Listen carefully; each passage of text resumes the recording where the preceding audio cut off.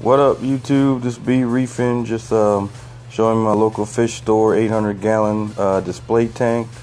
Uh, he been in this hobby for a very long time. Uh, scuba diving all over the world in different places. Uh, real great guy. Um, he won't even sell you a fish until he knows what size tank you got and system and everything else. Because uh, he's real passionate about the hobby and he wants to make sure they have a um, a great home. You know, uh, he does do custom stands and everything else.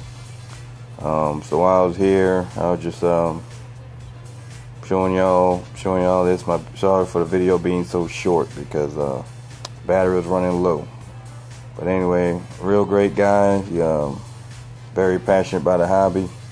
And next time I'll uh, just give y'all a whole full tour because there's plenty much more what he has upstairs and downstairs and this tank is actually upstairs. So um hope you enjoyed this little short video. Definitely appreciate it. Take care